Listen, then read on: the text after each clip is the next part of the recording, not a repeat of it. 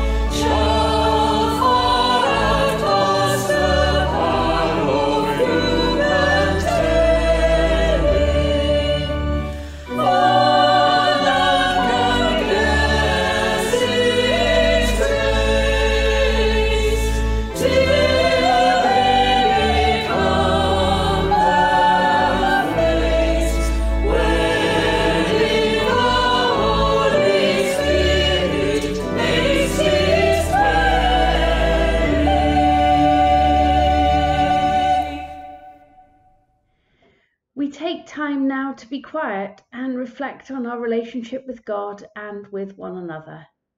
Let's hold some silence together.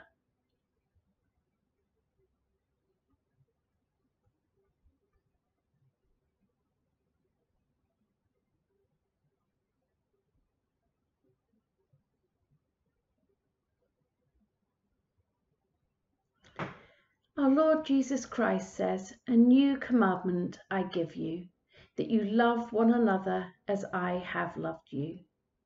Let us confess to Almighty God our failure to accept His love and to share it with others. Please join in with me in the words on the screen. Almighty God, our Heavenly Father, we have sinned against you and against our neighbour in thought and word and deed through negligence, through weakness, through our own deliberate fault. We are truly sorry and repent of all our sins. For the sake of your Son, Jesus Christ, who died for us, forgive us all that is past, and grant that we may serve you in newness of life to the glory of your name. Amen. May the Father forgive you by the death of his Son and strengthen you to live in the power of the Spirit all your days. Amen. Our Bible reading today is the start of Jesus' Sermon on the Mount. It can be found in Matthew chapter 5 and beginning at verse 1. Now, when Jesus saw the crowds, he went up on a mountainside and sat down. His disciples came to him, and he began to teach them. He said, Blessed are the poor in spirit, for theirs is the kingdom of heaven. Blessed are those who mourn, for they will be comforted. Blessed are the meek, for they will inherit the earth. Blessed are those who hunger and thirst for righteousness, for they will be filled. Blessed are the merciful, for they will be shown mercy. Blessed are the pure in heart, for they will see God. Blessed are the peacemakers, for they will be called children of God.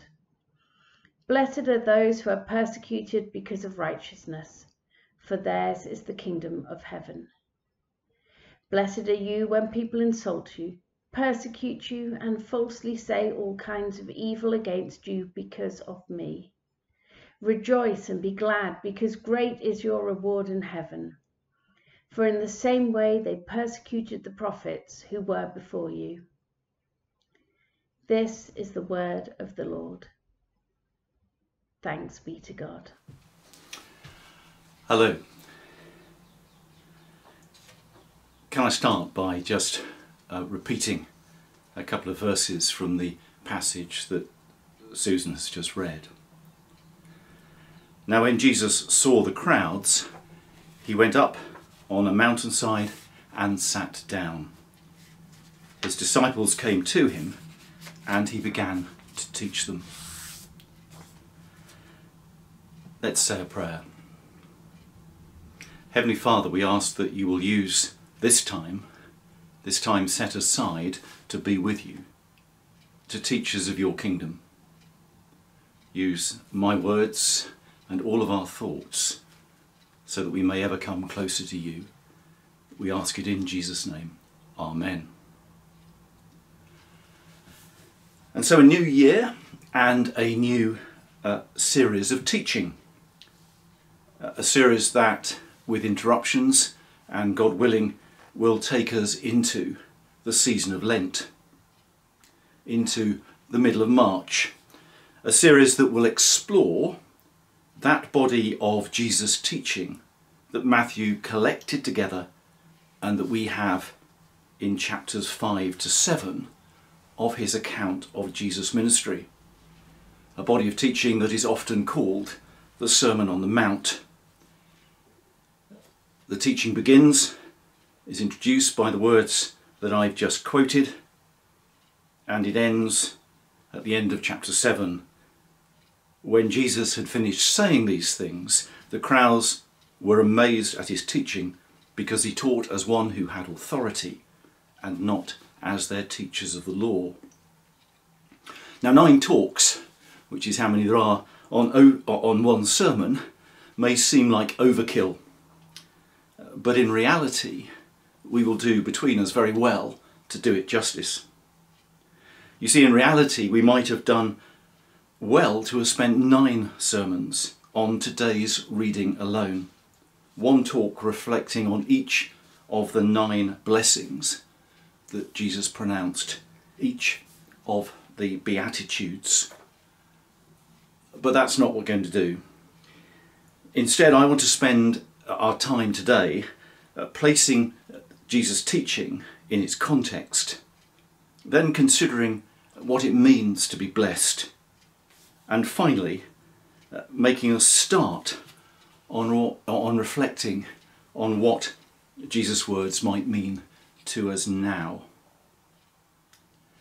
So let's start with the context uh, and some words inevitably from Les Dawson, one of my comedy favourites. A, a few weeks ago, Radio 4 Extra repeated for the umpteenth time a three hour special of Les Dawson and his work. Uh, it included the interview uh, a week just before uh, Les Dawson's death in 1993, an interview by Dr. Anthony Clare in the programme In the Psychiatrist's Chair. At one point, Anthony Clare asked Les, uh, Are you a religious man? Les Dawson replied, I can embrace Christ, but not his leprous bride, the church. I was sad to hear that. Perhaps that comment reflected his own personal experience and, and hands up.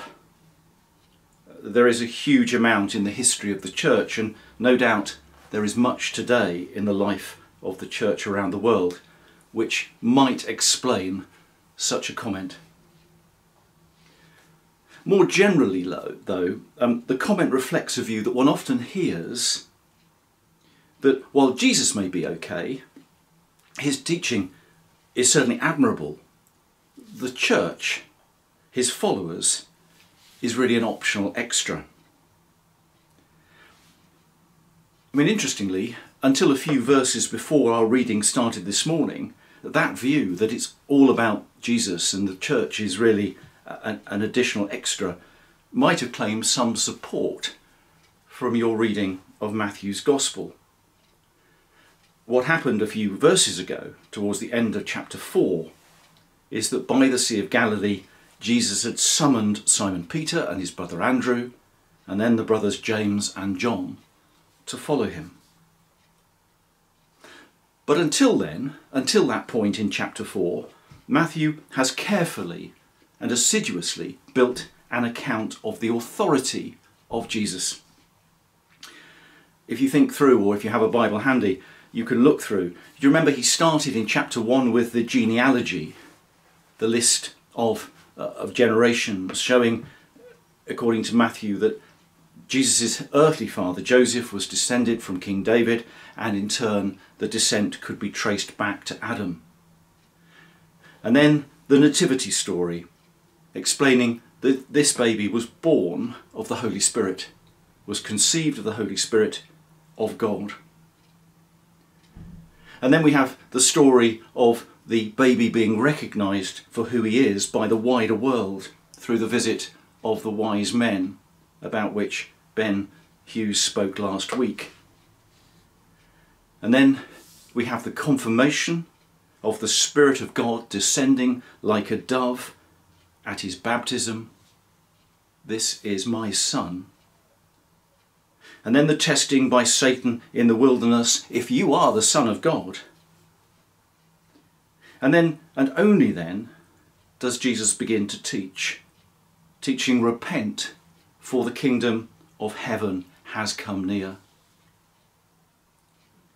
And all the time through these early chapters, as we noted a couple of times in our sermons over Christmas, uh, Matthew is ticking off the times uh, that this Jesus' story uh, meets Old Testament prophecies. So, in these few early chapters, we find Matthew pulling together the evidence that Jesus is the Son of God. And at this point, he selects his first disciples. At this point, the crowds begin to follow. And at this point, we're told when Jesus saw the crowds, he went up on a mountainside and sat down. His disciples came to him and he began to teach them. Jesus takes the disciples to one side. This teaching is primarily for them.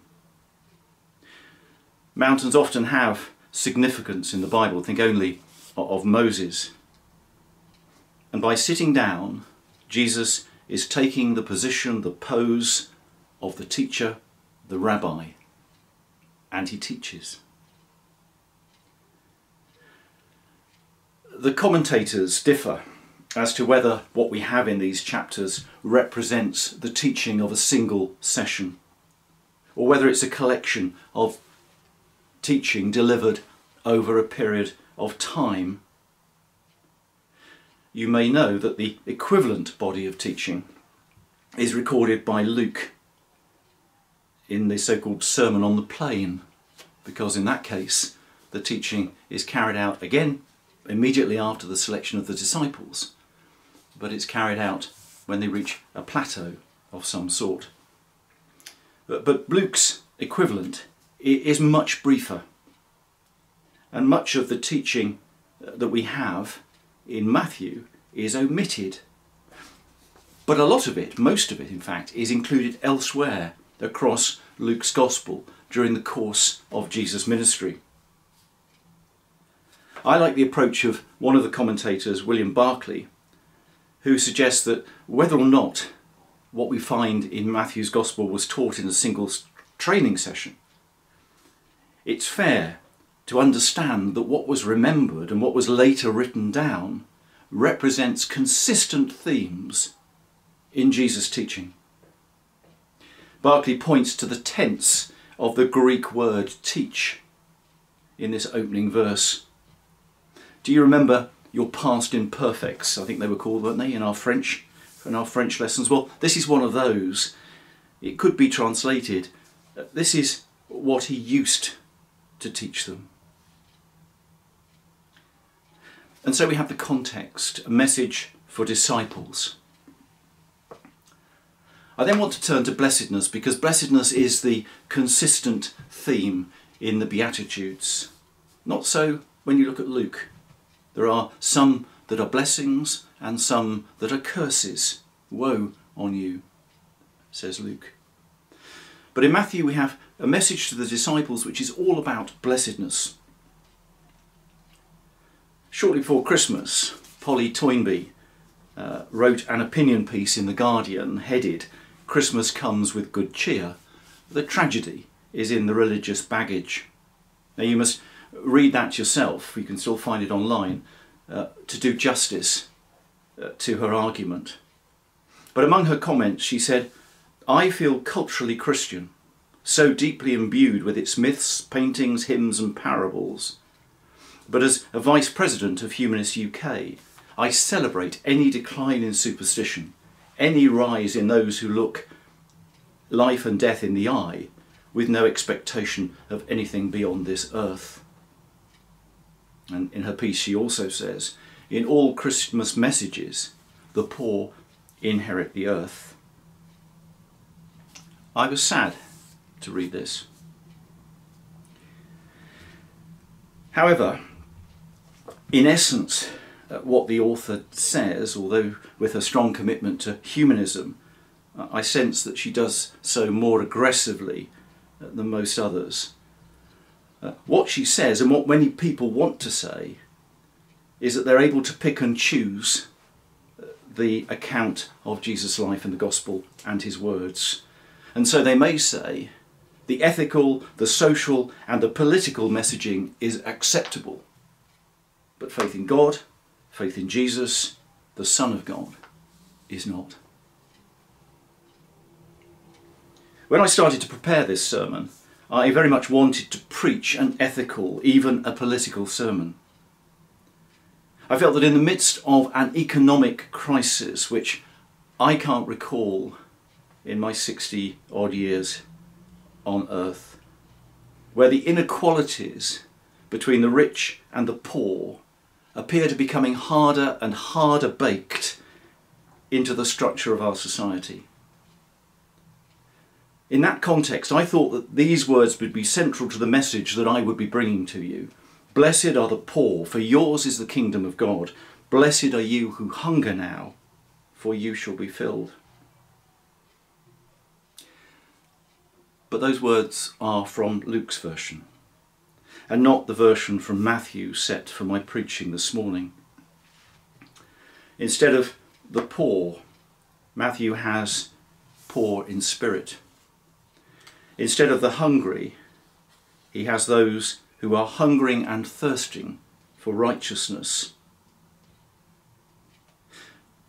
But no issue, because I could instead rail against the spiritualization of the social and the political message. I could say that the Matthew account is somehow watering down what Luke recorded Jesus saying about the poor and the hungry. But I find that I simply can't. I can't do that. I went back to my standards on social matters and Christianity. Uh, I went back, for example, to David Sheppard and bias to the poor. Uh, I went back to others that I've had with me over the years. And I found that the references to the Beatitudes, whether from Matthew or from Luke, were virtually nil. Why is that? Well, I'm driven to the conclusion it's because these, verse, these verses, these Beatitudes, are about spiritual matters. Now, for the avoidance of doubt, if today was a time to preach about God's bias to the poor and his desire for social justice, there is a huge amount, not just of material, but of themes throughout the Bible on which that sermon might be based. And in fact, that sermon would be better based there and not assisted, as it were, by sound bites taken from the Beatitudes. So instead of that, instead of that social, ethical, political sermon, the message that I find myself bringing is that the Beatitudes describe the mindset of a disciple.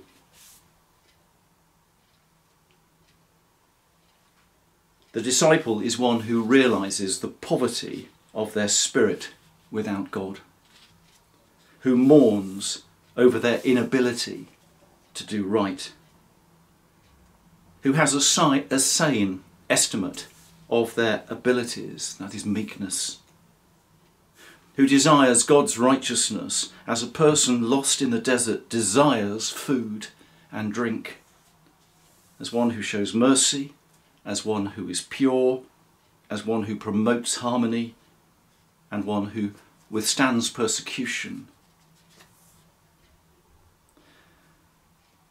These together describe, and they are together because they come as a whole. This is not a case of pick and mix. I think I will hunger and thirst over righteousness, but I'm not pure. These describe coming as a whole how Jesus wants us his followers to be.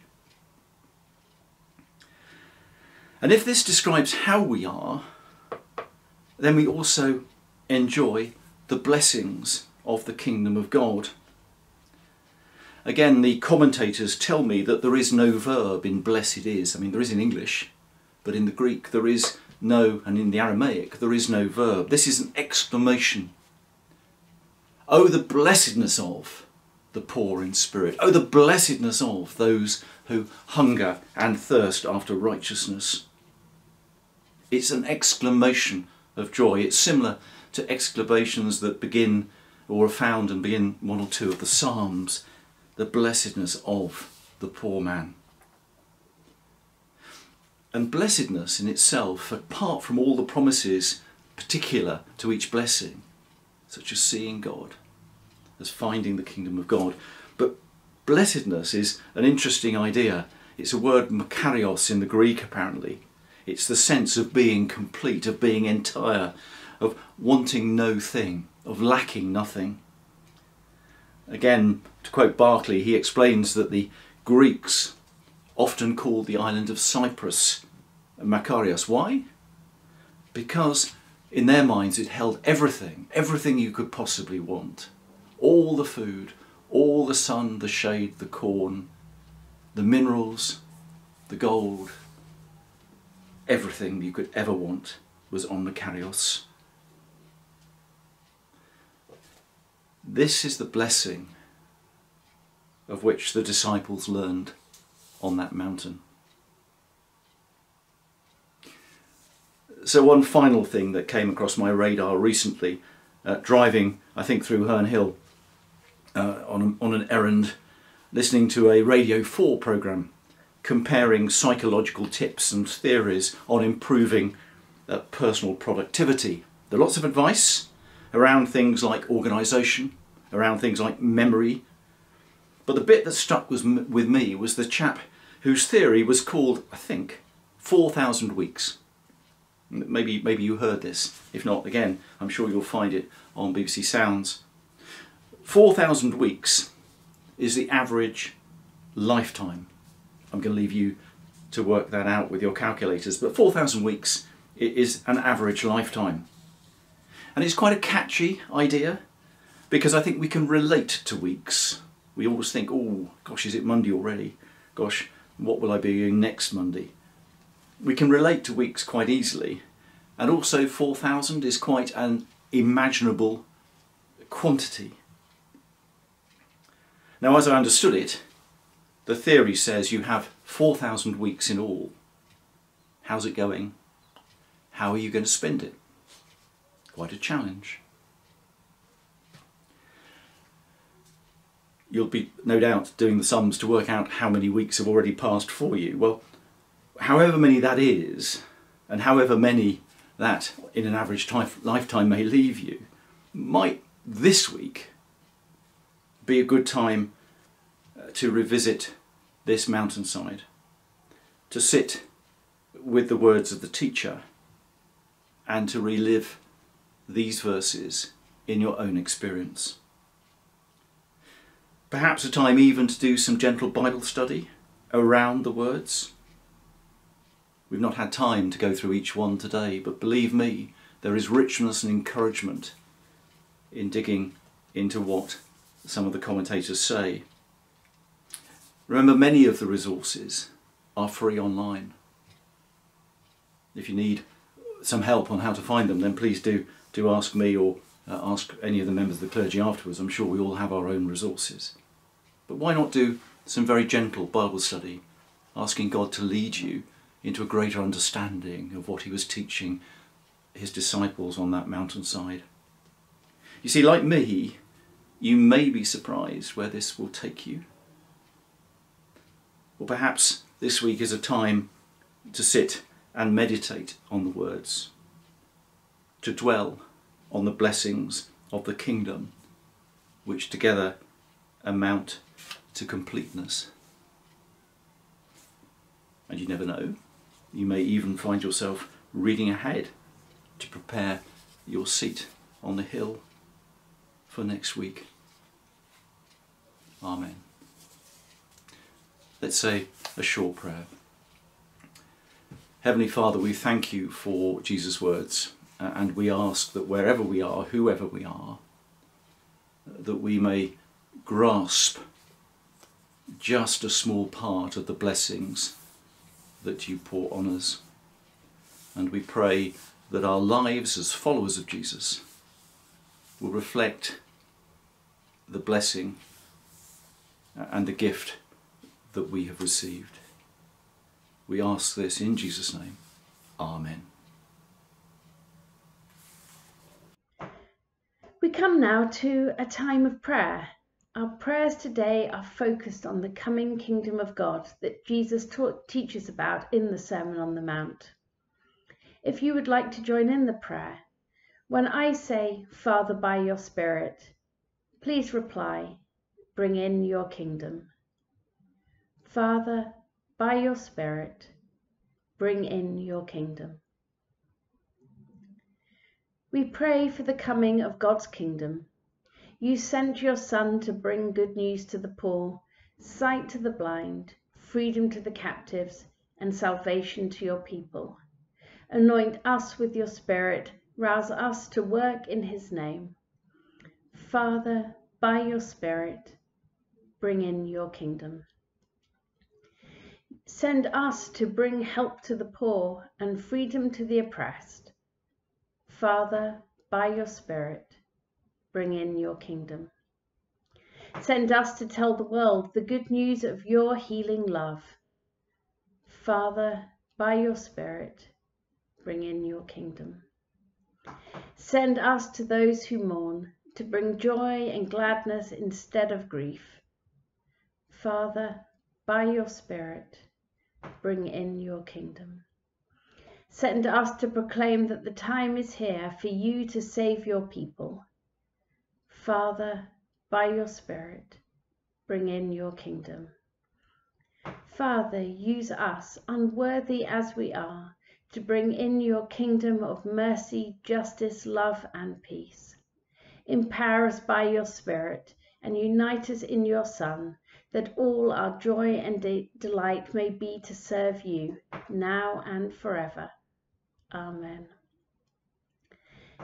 And we bring all of our prayers together today by singing together the Lord's Prayer.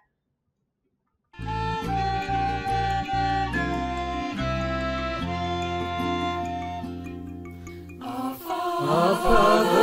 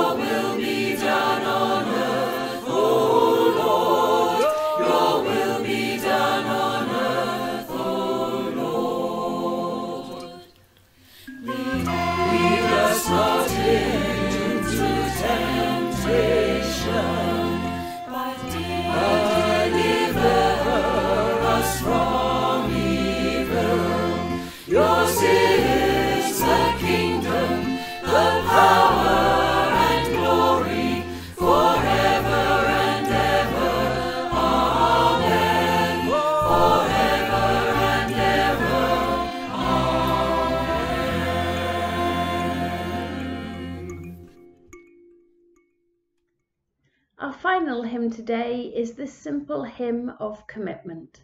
Make me a channel of your peace.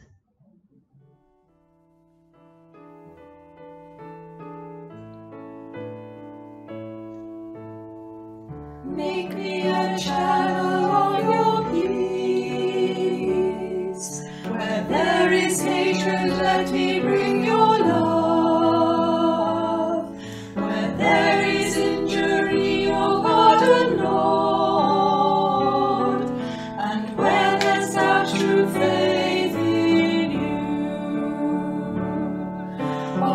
Master, grant that I may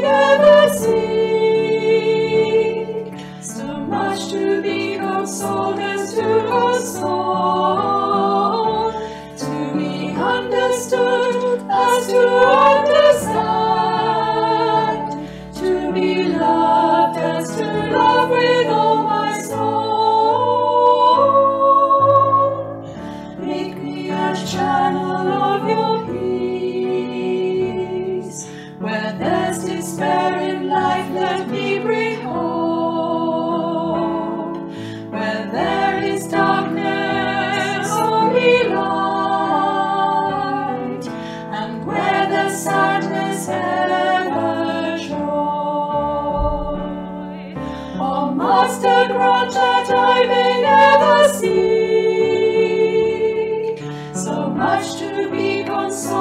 to God's song, to be understood as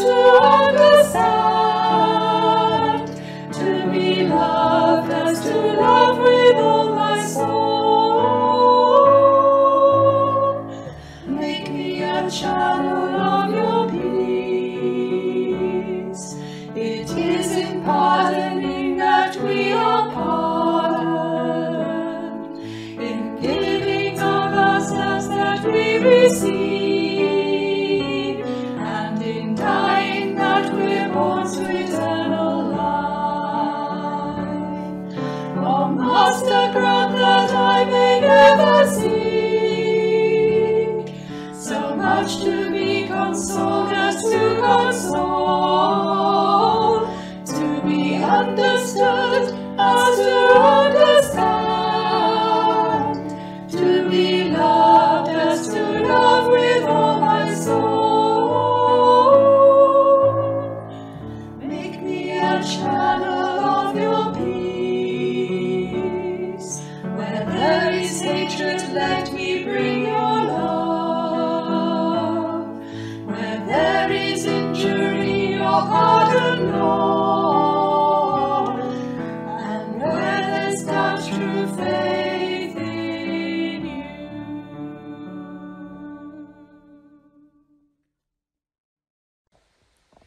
Hi everyone, it's Jules here. Happy New Year. I hope you've all um, had an amazing holiday and break. Um, I just wanted to let you know that we are starting another CAP money course. Um, this is a three week course helping anybody, doesn't matter what, where you are financially. Um, it's yeah, it's really for, for anybody that wants to have help with their budgeting and their finances. It's a three week course. It's starting next Thursday, the 12th of February. Uh, no, sorry, January. Um, yeah, so it's the 12th of January, the 19th of January, and the 26th of January. Uh, we will be in the creche at St Paul's and it starts at midday. And most of the sessions are about an hour and a half to two hours long. Um, if you can think of anybody that you would like to invite, please do, or send them my details. Um, if you would like to come along yourself, that would also be amazing. I love you, buddy. I love you too.